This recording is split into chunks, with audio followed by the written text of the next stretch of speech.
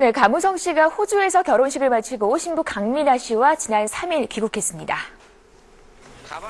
가무성 씨는 지난달 30일 호주 골드코스트의 한 호텔 야외 수영장에서 동료인 김수로와 친지들이 참석한 가운데 결혼식을 마쳤는데요. 가벼운 옷차림의 가무성 씨는 밝은 표정으로 신부 강민아 씨와 취재진의 인터뷰에 응했습니다. 고맙습니다. 가무성은 경기도 남양주의 전 신경 쓰이는 사람도 없었고 아주 짧고 간단하게 예, 30분 안에 그냥 간단하게 끝냈어요. 신혼여행은 어디로 다녀오셨어요? 뭐 호주로 갔으니까 호주에 있었겠죠. 잘 살아야죠. 네, 그냥 뭐 아무 문제 없이 그냥 뭐 편안하게 사는 게 제일 어, 제가 희망하는 거고 어, 잘 살겠습니다. 네.